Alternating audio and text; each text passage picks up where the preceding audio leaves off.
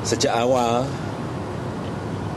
uh, kita ini serius dan sangat ketat mengikuti uh, protokol kesehatan dari WHO yang berkaitan dengan uh, corona dan juga bekerja sama dengan perwakilan WHO yang ada di Jakarta. Ketika ada kasus di uh, Wuhan, di Hubei di uh, Tiongkok, kita juga mempersiapkan mengevakuasi 238 WNI kita. Kita evakuasi juga dengan prosedur protokol yang ketat ke Natuna.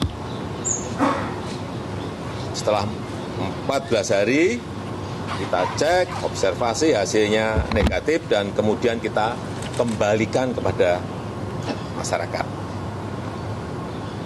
Kemudian kita juga evakuasi yang kedua di kapal Wood Dream yang berada di dekat Batam dan Singapura yang berjumlah 188 orang dengan juga prosedur protokol kesehatan yang ketat kita bawa ke Pulau Sebaru di Kepulauan Seribu. Ini masih di sana. Kita observasi dan setiap hari selalu kita cek yang berkaitan dengan kesehatan. Dan yang terakhir tadi malam ada 69 orang kru kapal Diamond Princess yang juga kita evakuasi dengan protokol yang ketat juga ke Pulau Sebaru lewat airport Kertajati di Provinsi Jawa Barat.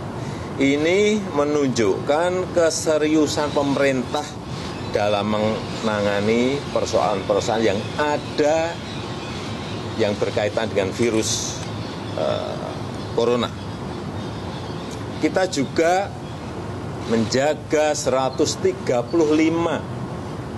pintu masuk ke negara kita, baik itu darat, baik itu laut maupun udara. Semuanya dijaga ketat meskipun dalam prakteknya ini tidak mudah.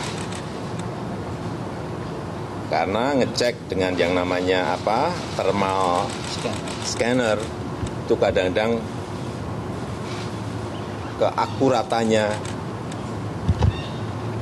juga tidak bisa dijamin 100%. Oleh sebab itu, begitu ada informasi minggu yang lalu ada informasi bahwa ada uh, orang Jepang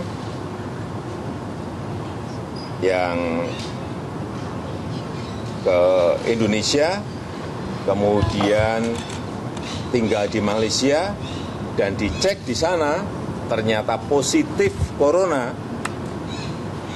Tim dari Indonesia langsung menelusuri orang Jepang ini ke Indonesia bertamu ke siapa, bertemu dengan siapa, ditelusuri dan ketemu. Sudah ditemukan, ternyata orang yang telah terkena uh, virus corona ini berhubungan dengan dua orang. Seorang ibu yang umurnya 64 tahun dan putrinya yang berumur 31 tahun. Dicek oleh tim kita pada posisi yang ternyata pada posisi yang sakit. Dicek dan tadi pagi saya mendapatkan laporan dari Pak Menteri Kesehatan bahwa ibu ini dan putrinya positif corona. Positif. Tidak ada lah istilah yang selama ini ngomong negara lain bahwa kita menyembunyikan. Tidak ada. Kalau positif kita katakan positif, kalau negatif kita katakan negatif. Ya ini memang positif dua orang itu adalah tadi sudah dijelaskan oleh Bapak Presiden dengan detail ada warga negara asing Jepang yang kebetulan tinggal di Malaysia melakukan perjalanan ke Indonesia ya kan. Nah kemudian di, kembali ke Malaysia diperiksa karena sakit ya setelah berapa hari sakit maka dicek uh, begitu datang di sana kena uh, monitor dan sebagainya maka dikatakan sakit apa dengan COVID-19 positif.